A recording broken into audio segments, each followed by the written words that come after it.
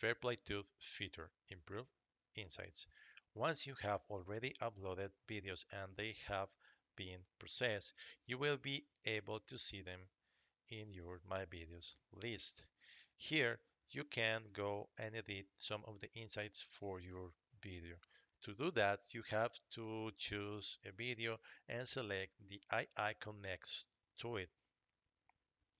You will see that it shows you the Insights screen, but in this case, the Insights widget will have a pencil that you can click and it will allow you to edit the insights you have in there.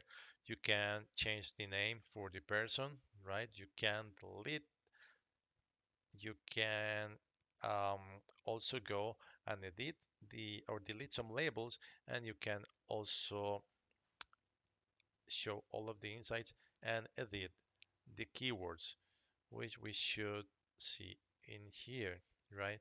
You can delete and you can also add new keywords in here. One other thing that you can do is go to the timeline and modify your transcript in multiple languages.